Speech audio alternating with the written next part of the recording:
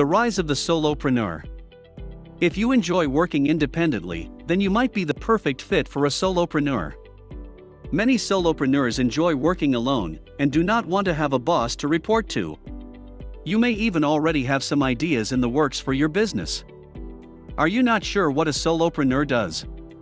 Many people confuse this title with entrepreneur, while they have many similarities, they do also have some essential differences that you will want to be aware of. A solopreneur may outsource some of their work to contractors or freelancers. However, they do not need a W 2 from you. This allows you to still work with professionals to help build your brand while not having any employees.